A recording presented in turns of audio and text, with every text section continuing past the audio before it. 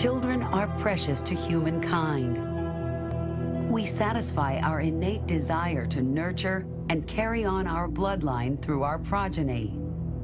Our children, in turn, rely on us for love and survival. What happens to a child that's been abandoned by all who are charged with protecting him and left to fend for himself in the wild? Or when a girl grows up in solitary confinement in her own family's home, never knowing love or social interaction? Since the earliest of times, such stories were thought to be nothing more than myths. Could there be any truth to the lore of feral children?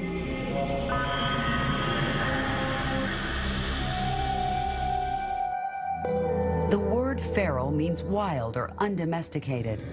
It brings to mind the myth of Romulus, the founder of Rome, and his twin brother Remus, who were raised by a wolf.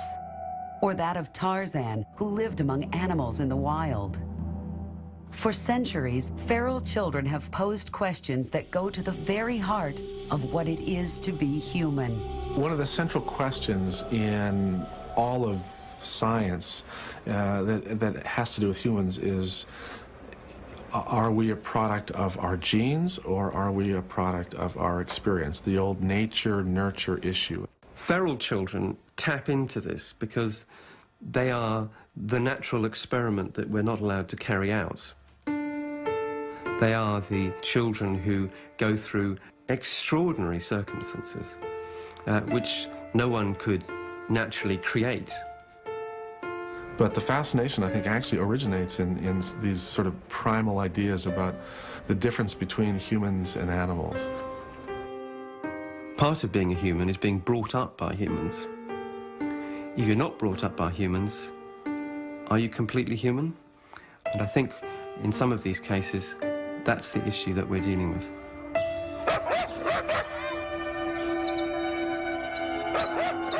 One of the most extraordinary cases ever has recently come to light in the Ukraine. Oksana Malaya was born in November 1983. According to medical records, she was a healthy child.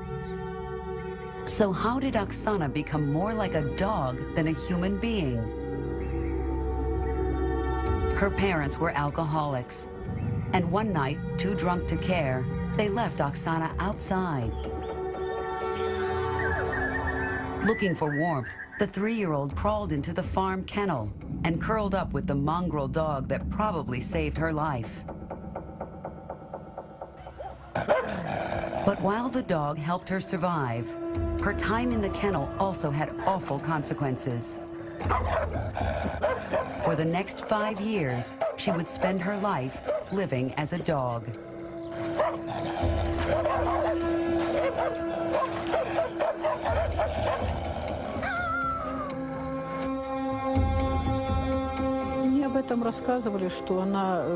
She was more like a little dog than a human child. First of all, she couldn't speak, or she could hardly speak. And actually, the purpose of speaking, well, she didn't think it was necessary to speak at all.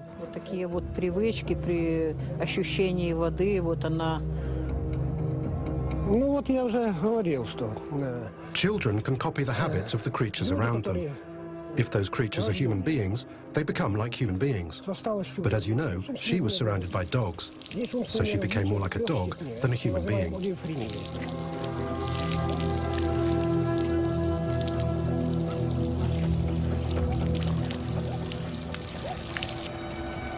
But surely the story of Oksana is a rarity. The product of alcoholic parents in a poor and depressed part of the world? Incredibly, it would seem not. Throughout history, children have been abandoned by their parents. Most die quickly, but some, the survivors, have resorted to extraordinary means to stay alive.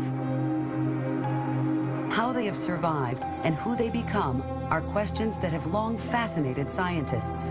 But understanding these children has been a slow and difficult process. Uh, very, very good clinicians and researchers have, with the, the tools that they had in their day and age, they've tried to understand what happened. But because it's such a complex set of phenomenon, uh, our understanding has been limited. And it's incrementally from generation to generation to generation, we've had better tools to, to better understand what happens to these children. The first scientifically documented case occurred in 1800 in France. It would send shockwaves throughout civilized Europe.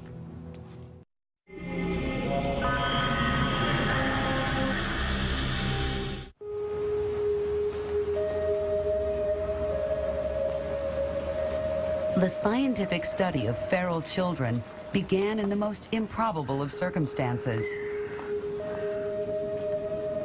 On a cloudy afternoon in southwest France, two hunters were out in the woods looking for deer. It had been a long day, and they hadn't caught anything. But their luck was about to change.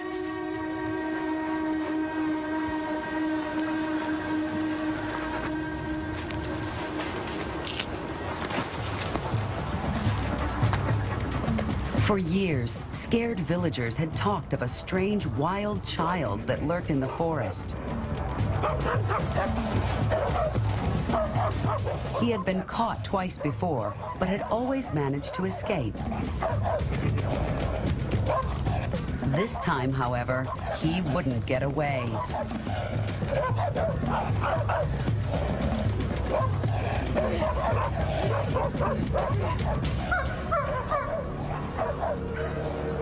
News of the capture spread fast. In Paris, one young doctor, Jean Itard, was especially interested.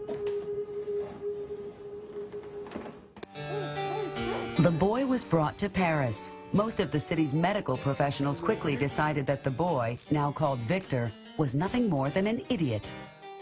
But something about him captivated Itard. The first thing which is truly remarkable about Itard, is his extremely scientific approach to reporting what he did. He gives a wonderful wealth of detail about the child, what the child did when he tried certain things. So he is very clearly linked into a tradition which we're still involved with now. The modern scientific study of feral children had begun. For Itard, there were two tests of what it meant to be human the ability to feel empathy and to use language. Victor could do neither, and so was, in Itard's eyes, scarcely human.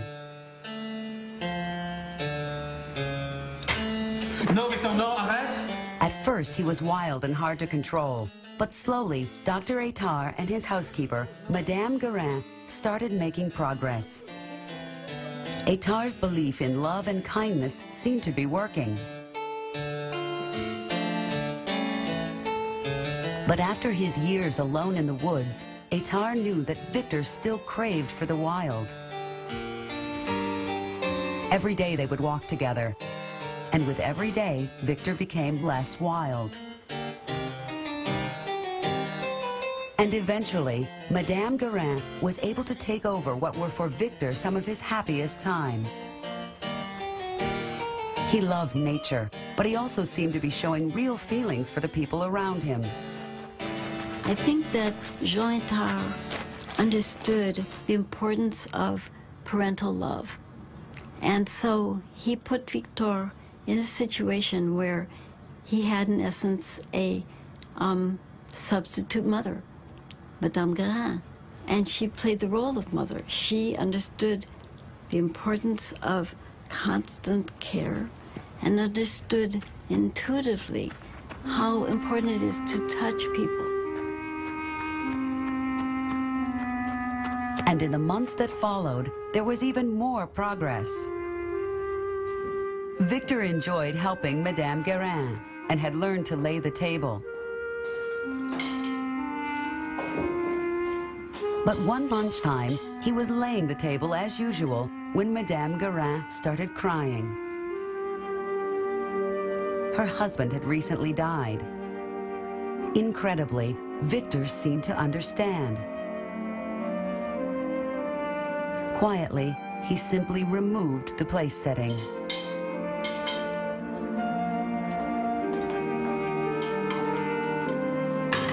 This was the breakthrough Itard had been waiting for.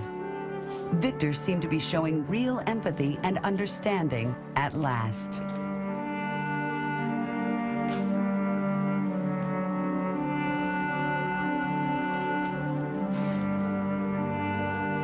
By putting away um, the place delayed, he was showing that he could empathize with Madame Guerin.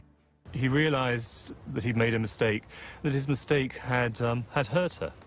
And I think in, by doing that, he was showing his ability to put himself in the position of another human being, something which, when he was first brought to Paris, would have seemed impossible. Victor had passed the first of Itard's tests. Nervous but excited, Itard realized that it was now or never. It was time for Victor to learn to talk.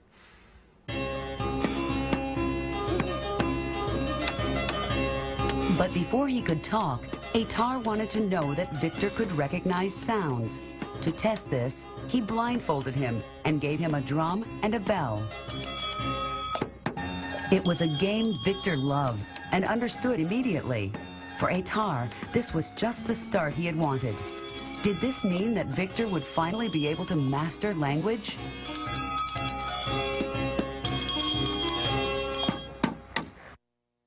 A drum is one thing, but language is infinitely ah. more complex. Before he would be able to talk, Itard knew that Victor would have to master his vowel sounds, the building eh. blocks of ah. all language. Oh. Victor, assis-toi me regarde. Victor. But this time, Victor was at a complete loss. To him, it was all nothing more than a game. Ah. Itard could see his dreams for Victor disappearing before his eyes, and for the first time ever, lost his temper with the boy. No. But it was no good. Itard realized that Victor just couldn't make sense of the sounds that other children take for granted.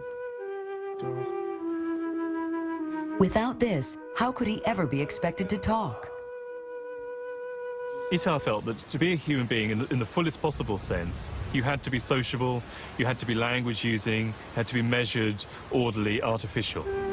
And when he realized that Victor was going to be unable to attain that, I think he loses interest and um, really leaves him to his own devices.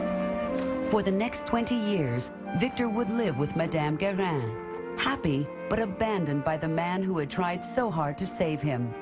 With Victor, Itard had shown that it was possible to bring a feral child back into society.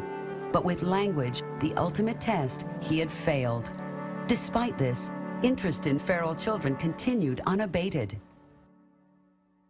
In 1828, a young boy, Caspar Hauser, was found lost and alone in Germany. His background is much of a mystery as Victor's. And as the century wore on, more reports were appearing from distant corners of the globe. From India in particular, came a series of stories about children living with wolves. Distant and unproven, to scientists they seemed little more than myth.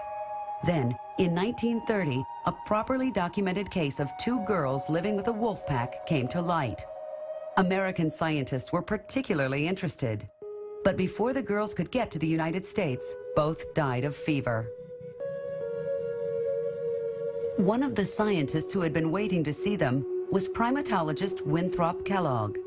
Despite this setback, he was determined to prove that nurture was the dominant influence in child development. Kellogg knew that the, the, perfect way to prove his theory was to um, engineer a feral child, to, to, bring, to get a baby, put them among wolves, and to see what happened. Clearly, this is the one experiment he couldn't do. Was, this is the forbidden experiment. So what he decided to do was the next best thing, which was to reverse that forbidden experiment and to bring an ape into a human family. For the next year, the chimpanzee Gua would spend every day with Kellogg's young son Donald. As Kellogg had predicted, Gua could learn many human characteristics. But the experiment had unforeseen consequences. Kellogg really thought of it this as an experiment on the chimpanzee. In actual fact, it became equally an experiment on his son, particularly in the way in which the son was picking up or, or not picking up language. Rather than learning words, Donald was learning the barks and yelps of a chimpanzee. Horrified, Kellogg called off the experiment. Almost by accident, Kellogg had shown the vulnerability of early childhood, how the smallest changes in environment can have unforeseen and long-lasting effects. It was a subject that continued to intrigue scientists. In the 1960s, American psychologist Harry Harlow continued where Kellogg had left off. Harlow's work was really seminal in this entire field because he showed the crucial importance of the caregiving relationship between uh, a mother and an infant and how the physical stimulation, literally the physical contact with the caregiver, uh, has profound impact on healthy development. At birth, Harlow took baby monkeys from their mothers. They were then given a choice between a cold wire monkey with milk or a soft, warm monkey without. Amazingly, they chose the more comforting figure every time. And socially, the effects were devastating. Raised in isolation, without any love or encouragement, these young monkeys were scared and confused. Harlow couldn't explain it, but something about this early isolation had damaged them for life. But these were monkeys, would the same be true for a human child? It would be another 20 years before scientists had a chance to find out. And when they did, it would be in the busiest, most urban setting imaginable. Officials in the Los Angeles suburb of Arcadia have taken custody of a 13-year-old girl and they say was kept in such isolation by her parents that she never even learned to talk. The girl still wore diapers and was uttering infantile noises when a social worker discovered the case two weeks ago. But the authorities are hoping she still may have a normal learning capacity. Among the first to see the child was Temple City Detective Sergeant Frank Lindley.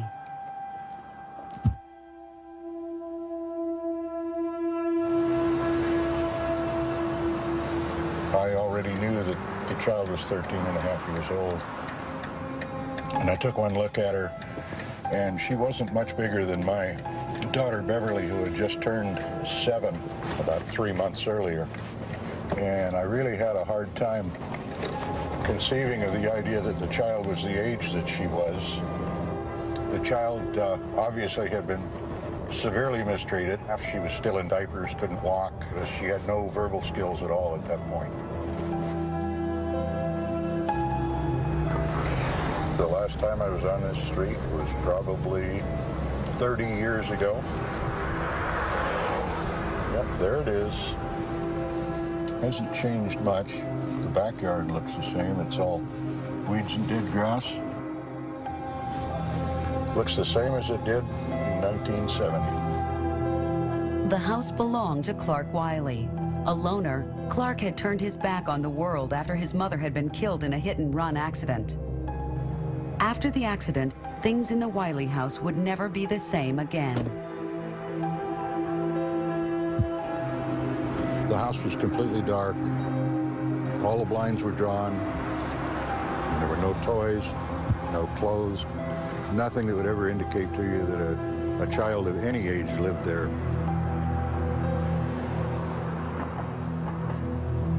The child's bedroom was back in this corner. That was the bedroom. The uh, windows were covered to about three inches from the top, which was the only natural light that had ever come in there and all the time the child was in the bedroom. The entire furnishings of the bedroom consisted of a cage with a uh, pull-down chicken wire uh, lid and some type of piece of wire securing it when they closed it down. There was a potty chair with some kind of homemade strapping device. For 13 years, Genie had spent her nights locked in bed, her days strapped to a potty chair. During that time, Clark had ordered his son John and wife Irene never to talk to her. In her darkened room, she had led a life of near total isolation. Even close neighbors were completely unaware of her presence. Police was here and they came to question us. That's when we found, found out, you know, what happened and, uh, you know, that they had a little girl. Nobody knew, nobody knew before. And uh, when we found out what happened, how she was treated, I mean, everybody was shocked and just unbelievable. For their whole marriage, Clark had imposed his will on Irene. And blind with cataracts, she had been too scared to resist. But one day, something broke. While Clark was out buying groceries, she seized her chance and fled. It was the first glimpse the world would have of Clark and Irene's dark secret. I met Clark and Irene at uh, Temple City Sheriff Station. They were both under arrest at the time. When we interviewed Irene, uh, she would make no mention of the family whatsoever, particularly the children. I attempted, along with my partner, to interview Clark. He refused to talk to us. He wouldn't say a word. He never even acknowledged that he understood what we were talking about. Unable to face the truth, Clark took matters into his own hands. This morning, the authorities reported that 70-year-old Clark Wiley shot and killed himself just before he was to go to court and be arraigned for child abuse. After 13 years, Genie was at last free. And for scientists, she was just the case they had been waiting for. For 13 years, Genie had lived a life of complete isolation. Raised in a city bedroom, Genie was as much a feral child as if she had been brought up by wolves. At 13, she was the size of a six-year-old. Worst of all, she had never been taught to speak. The question now, could she ever learn?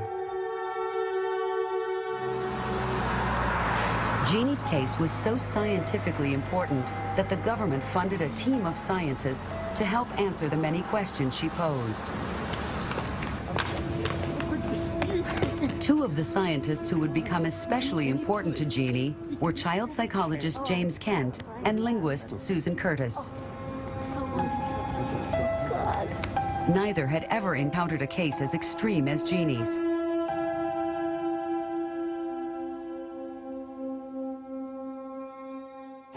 We looked at her as uh, as a newborn in a way, even though we know she hadn't. She came with 13 years of, of, memories and experiences, not all of them wonderful, most of them not, I think. And so we thought we needed to start to expose her to what the world was going to be like for her outside the hospital bed. To Genie, everything was a new experience. We did what you would do with, with your own kids if you were introducing them to the world. You'd take them out and hold them up and show them. sort of judge from how they reacted to whether this was too much or not enough, and you could move on and do the next thing. Genie was making amazing progress. As the experts looked on, they realized that she might be the answer to the question that had troubled science for so long. So we seized this wonderful opportunity that she provided us in as loving a way as we could, but using it to finally get our chance to address head-on specific hypotheses and notions about human language and the human mind.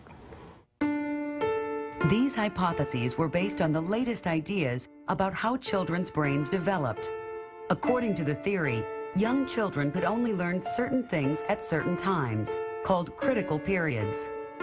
Language was one of these critical periods, and according to the theory, Genie, who was now a teenager, had missed her chance forever. But incredibly, Genie seemed to be proving the theory wrong. As this footage shows, Genie was blossoming. Not only was she delighted by the world around her, but she was learning the words for the new things she was seeing.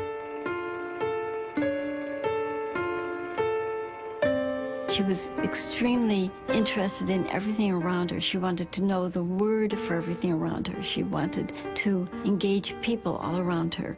She was not mentally deficient. Her lights were on, and everyone who worked with her, from teachers to therapists to me, knew that she was not retarded. It was clear as day. And as she began to learn more and more words, hundreds of words, much more rapidly than I ever imagined, and stringing them together, I began to think maybe I will be wrong. Maybe she will be the one that will prove that this hypothesis is incorrect. But Genie could not escape the effects of her past so easily. She was still haunted by her traumatic upbringing, trapped by the memories of the awful fate she had suffered. And linguistically, she had stopped making progress. She learned tons of words. She has an enormous vocabulary. But language is not words. Language is grammar. Language is sentences. How do you make a sentence? What can be a sentence? What is a sentence? How do you automatically know something's a sentence? So it wasn't because she was cognitively deficient. In other respects, it was because she was cognitively deficient in this island of human mind, the mental faculty that we call grammar. At the time Genie was found, brain science was in its infancy. But today, we have a much clearer picture of what actually happens in cases of extreme neglect like Genie's. In Genie's brain, the, the left part of her her brain, her cortex, that, that has those neural systems responsible for speech and language, because she never heard any words and because she was never taught, spoken to very often, they didn't get stimulated.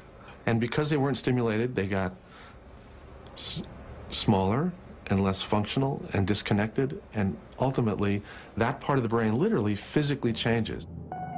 Today, with modern imaging technology, we can actually see what happens in the brains of feral children, and the effects are shocking.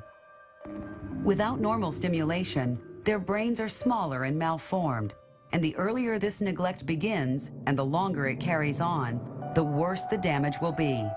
Starved of stimulation, Genie's brain had simply not developed the capacity for language. And now that she was a teenager, she would never be able to learn. Despite this, Genie continued to be a close part of everyone's life. But there was more trouble ahead.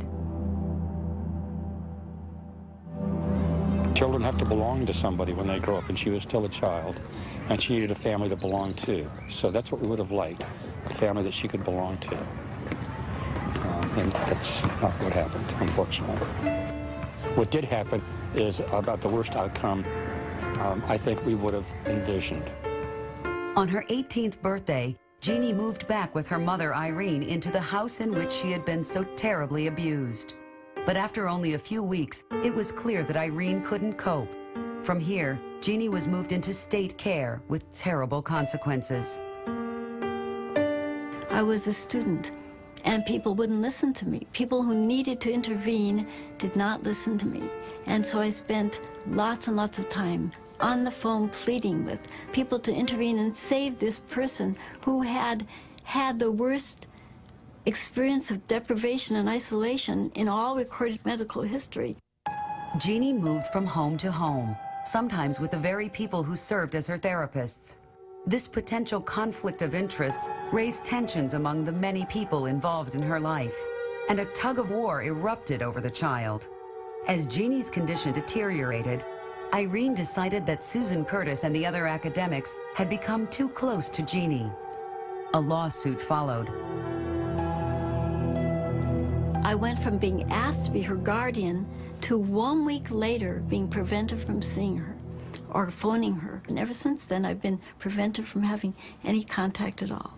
So, although I have lots of, you know, the, I'm still a scientist, I'm still interested in knowing things about her language now and all kinds of interesting things I would like to pursue academically. Primarily, I would just like to see her. Now, a ward of the court, Genie lives in an adult care home somewhere in Los Angeles prevented from seeing the people who once meant so much to her. But children like Genie continue to be discovered, even today. We actually are seeing an increase in the number of severely neglected children who are in physically and socially isolated environments and, and have feral child-like uh, properties.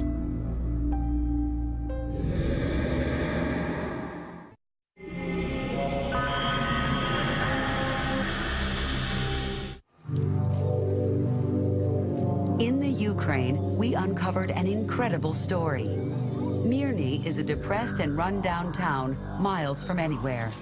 Before the collapse of the Soviet Union, Mirny was a thriving Navy town. But now, half the flats are empty and stray dogs roam the streets.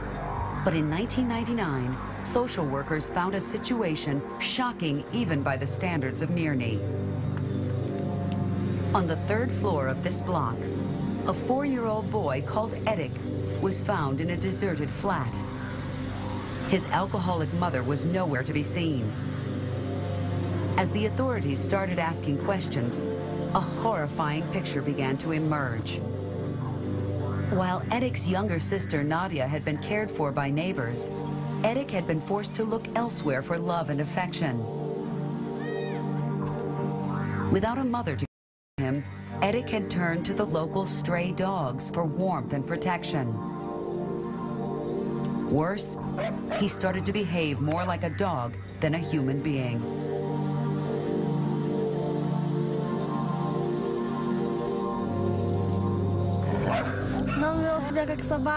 His behaviour was exactly like a dog's behaviour should be.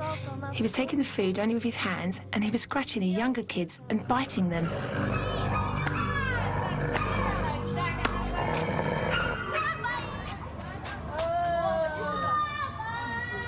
Years later, Erik is six and lives in a foster home in the nearest city. He has made remarkable progress, but still has many problems.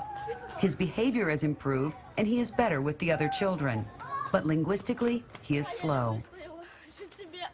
Doctors have told us that while Erik is six, his language is that of a three-year-old. It seemed that Erik was suffering from many of the same language problems that had affected Victor and Genie so badly. The crucial question, had he been found in time, or would he, like them, never recover? To try and gain an accurate picture of Erik's condition, we took a leading language expert, Professor James Law, to the Ukraine to evaluate Erik. There seem to be a lot of similarities between Erik and other feral children.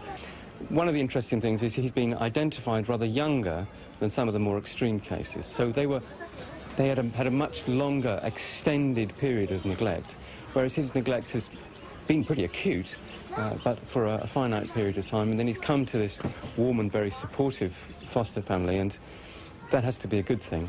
I'd like to start. To get a better picture, James spoke with Edik's foster mother. Ну как он ходит? Он всегда себе компанию собирает. Простыми словами, это был дикий ребенок. Вот, At the beginning, he was a wild child. He didn't know anything. He didn't even know what a plate or a spoon was, or how he should use them. And it took months to make him eat normally and to get him to wear clothes and behave normally. Противный ребенок picture that his foster mother paints is in the last six months or so, there seems to have been a bit of a breakthrough in some way. And it's not so much to do with his language, although that has been improving. It's to do with his ability to relate to other people and to, if you like, empathise. With Erik's background clear in his mind, James could begin to make a more formal assessment of Erik's strengths and weaknesses. As the session progressed, it was clear that Erik was reveling in the attention. But just how much of an impact had two years of neglect had on his language? It was time for James to find out. Now. Это все. Это кишка, это все. Это черепашка. Это обедана. Это сигар. Эдик, Эдик, слушай, сейчас мы тебя будем спрашивать, ты нам будешь отвечать, хорошо? Point to the elephant first. Тихо. Тихо, Listen слушай. very carefully. Point to the elephant first, and then point to the giraffe. Покажи сначала слона, потом жирафа. Good boy. Well done. Point to the cat and then to the bird. Покажи сначала кошку, потом птичку. Okay. Молодец. Okay. Linguistically, Erik had made good progress since moving from the awful conditions in the town in which he was found. But the details of his past were still unclear. To get a better picture, James needed to take Erik back to Mirny, the town where he had been so badly treated by humans that dogs had become his most faithful companions. As he walked around the village, Erik could remember little of the details of what happened to him. But he could remember some of the places behind the flats where he had run and slept with the dogs that had become his family.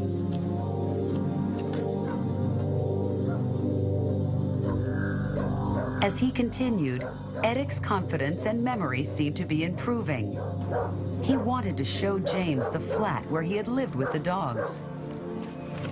But as we re-emerged at the front of the block, we were greeted by a local delegation. Somehow, the mayor and police had been alerted to our presence. They claimed that the story about Edik was a lie and demanded we stop filming. She knows this woman. She's saying that everything that he was told about this family is totally wrong, and right. that's why if you, you, you shouldn't film anything here. It was clear that something had happened here. But with the mayor and police's vigorous denials, it was far from certain exactly what. However, as we were leaving the town, James was approached by a local woman who clearly recognized both Edik and Nadia. Despite the police's intervention, she was determined to tell him what she had seen when the children lived in the town. Absolutely awful conditions. She never, she never cleaned her flat. There was fish. There was fish on the floor and the dogs living there. Just, the conditions was absolutely awful. We have heard stories that the children used to play a lot with the dogs, with the animals around the flats. Они прям в квартире? Да, в квартире, А много у них там в квартире было собак? То две, то три, там, по-моему, всех она She's saying that, uh, she's saying that yes, the, the children were great friends of the local dogs, and home, just, the stray dogs used to come and live in their flat. There were always not less than three dogs in their flat, and Edik was sleeping with them. But could a young child really live with dogs? And if they could, how would this incredible relationship work?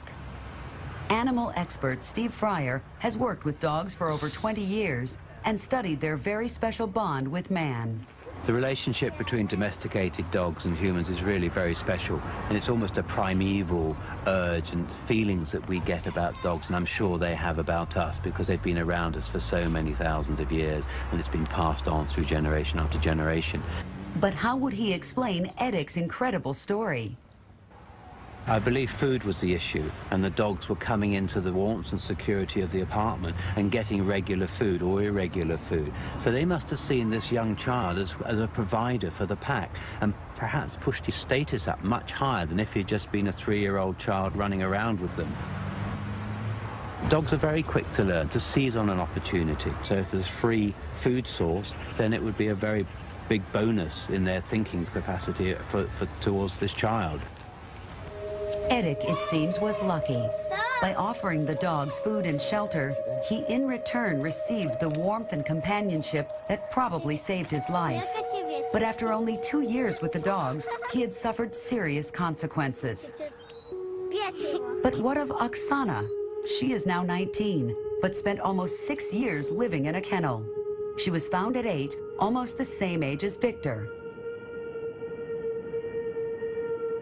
Would she ever be able to talk? Or would she, like Victor and Genie before her, be condemned to a life of silence?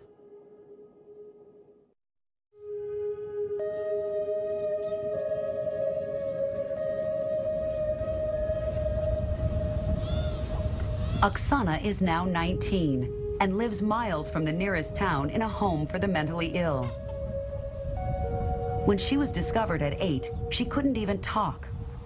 According to brain theory, Oksana would have only three or four years to learn language before she lost the chance forever.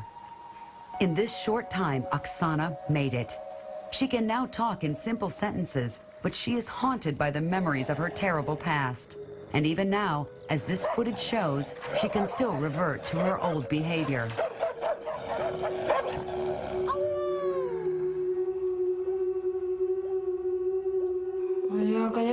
Wanted to have a boy, and she had a girl instead, and so she just threw me out and put me into the kennels.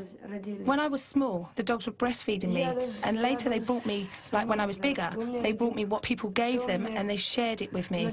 I wasn't scared of them at all, it was my home. So what does the future hold for Oksana? The only thing we can do is to try and correct her behavior so she gets used to living in a human society. The best way to do it is to try and find a proper occupation for her, and it will focus her mind from dogs and animals to some sort of useful occupation. But she will never be considered a normal person. Found at eight, Oksana has made amazing progress.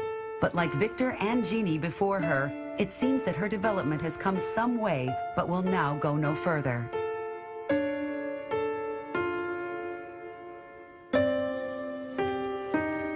But what about Edik?